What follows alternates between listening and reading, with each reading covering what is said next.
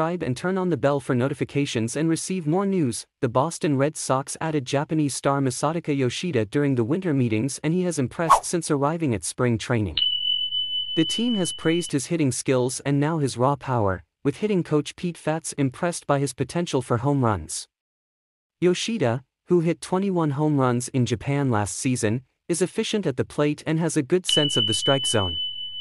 The Red Sox hope his power will translate to success in the major leagues.